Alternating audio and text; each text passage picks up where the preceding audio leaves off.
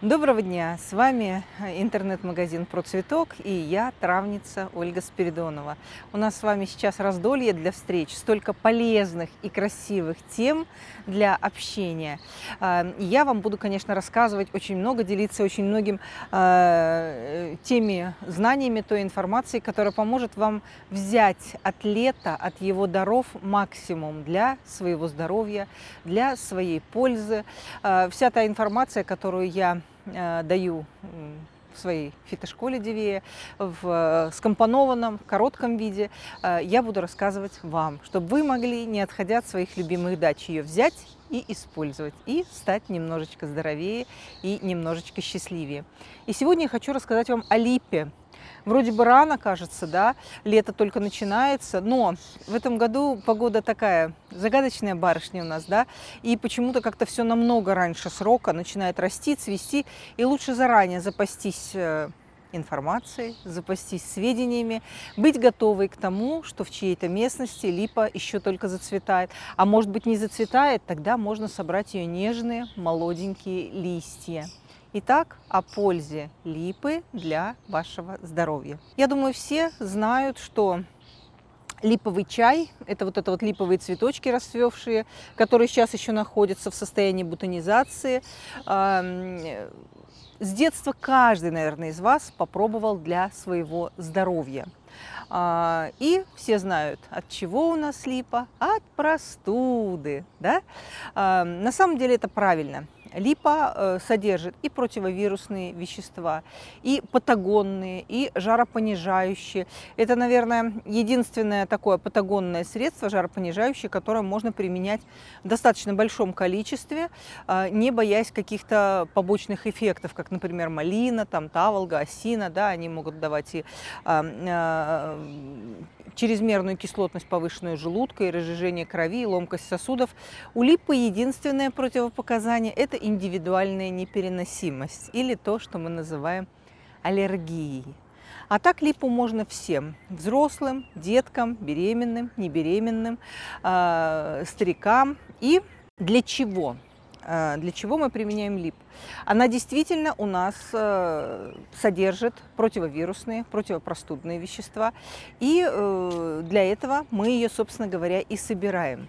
А, собираем для того, чтобы делать душистый чай с медовым ароматом а, зимой, когда нам холодно, когда нам скучно и грустно, а, или когда, не дай бог, кто-то приболел, детки или мы сами, или когда поднимается температура, необходимо ее сбить, или когда нам не спится, оказывается, липа великолепное седативное средство. Она помогает успокоиться, она помогает уснуть. Чай с липой, а если вы еще к ней добавите и ромашку, великолепным образом помогает расслабиться перед сном, скинуть стрессы э, дня рабочего. И э, особенно хорошо она помогает скинуть температуру тела. Ведь когда нам жарко, мы очень плохо засыпаем. А когда тело прохладное, в комнате прохладно, засыпается намного легче. И вот липа, вот этот гипотермический эффект очень и очень здорово оказывает. Но жаропонижающее, противопростудное, противомикробное, противовирусное средство, э, свойства липы – это еще не все, хотя и самое основное. А, липа еще и оказывает э, целый букет оздоровительных э, оздоровительном воздействии на наш организм, а, которое не так распространено, как противопростудные свойства. В липе содержится аналог эстрогенов, женских гормонов, в небольшом количестве, очень небольшом. Но этого достаточно, чтобы э, очень и очень э, неплохо снижать холестерин, смягчать наши сосуды. Именно поэтому липу э, рекомендуют женщинам при климактерическом, климактерическом возрасте. И показан очень чай из липы, из липы тем, у кого э, в анамнезе есть сердечно-сосудистые заболевания, а это, наверное, треть народа высокое давление, холестерин, проблемы с сердцем, стрессы. При всем при этом поможет чай с липой. Причем, что очень важно, целебными у липы являются не только цветочки, но и молодые листики. А, листочки липы на самом деле очень и очень вкусные и съедобные. Их можно также собирать на чай.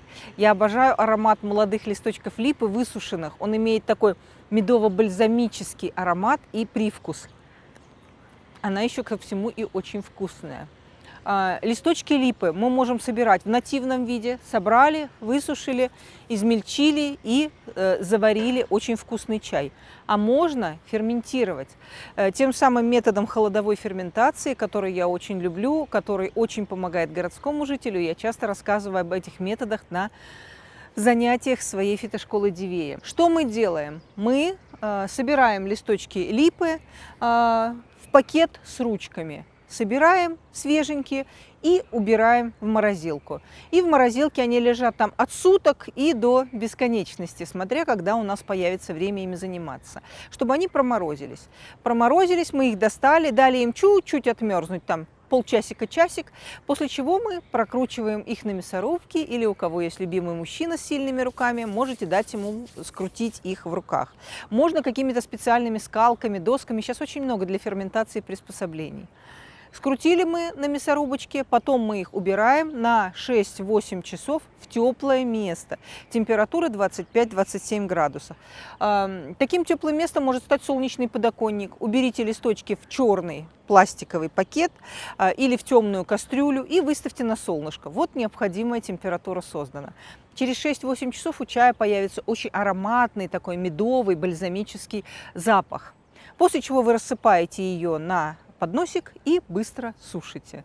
Таким образом мы получаем вкусный, темный, медового аромата и, самое главное, очень полезный чай, который очищает сосуды, успокаивает, сбрасывает давление, помогает хорошо уснуть и также оказывает профилактический противовирусный, противопростудный эффект. И э, в целом его можно добавлять в любой чай, делать основой любого чая. Почему? Потому что он не имеет какого-то сильного воздействия на организм. Да? То есть он у нас не является сильнодействующим. Противопоказанием, единственным противопоказанием здесь, как мы уже сказали, будет индивидуальная непереносимость, аллергия. Ну и кормление грудью, беременность тут вот может быть, да, потому что у женщин в этом возрасте очень обостряется чувствительность организма. Чем еще может нам помочь липа? Листочки липы съедобные. А, конечно, грубоватые листочки уже там э, в середине, в конце лета, их сложно будет уживать. А вот эти вот молоденькие в начале лета, они идут всюду в салаты, в омлеты, в щи, в борщи, да, то есть собираем листочки, кстати, тоже можно их заморозить, да, чтобы потом доставать и использовать зимой. Можно пробланшировать, а потом заморозить. А свеженькими великолепно взяли, ошпарили и режем. Разумеется, лучше, чтобы липа росла не в городе, а где-то на вашей любимой даче, засаженной саженцами, которые вы купили да, в магазине про цветок. Эм, если у вас есть такое чистое, экологически чистое пространство, то собираете там листочки липы эм, и что делаете? Просто моете их и режете меленько режете в омлет, в щи, в борщи, в салат. Можете добавлять в начинки, например, чебуреков, пирогов. А, берете фарш обычный, к которому вы привыкли. Это может быть мясной фарш, это может быть рисовый фарш, это может быть грибной фарш. И где-то в соотношении 15-20% от общей массы добавляете туда мелко нарезанные. Можно прокрутить через мясорубку, можно просто ножничками порезать. Листочки липы. Это придаст э, великолепный оздоровительный эффект вашим блюдам. Это будет интересно вашим друзьям, подружкам, вашим деткам. И что самое главное, это будет очищать ваш организм и добавлять ему здоровье. Я с удовольствием делюсь с вами вот такими вот э, э, находками, знаниями, информацией на канале про цветок и в своей фитошколе Дивея. Приходите к нам и будьте здоровы!